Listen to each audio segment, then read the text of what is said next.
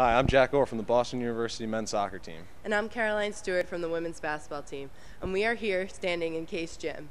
There are plenty of great Terrier athletic events to follow this week, including the soccer and cross country teams competing in NCAA postseason play. On Wednesday at 7 p.m., my teammates and I will be hosting New Hampshire in the America East semifinals at Nickerson Field. If we advance as a regular season champion, we'll host either UMBC or Stony Brook on Saturday. Friday will be a super busy day for Terrier Athletics. The women's ice hockey team will start things off at 3 p.m. against Vermont.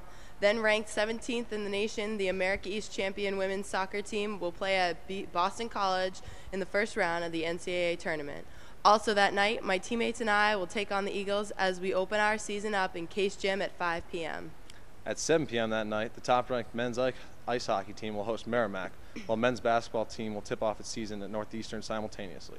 On Saturday, postseason action will continue with the cross country teams racing at the NCAA regionals in Connecticut. Saturday afternoon, the women's ice hockey team will host Vermont, while the men's will travel to Merrimack.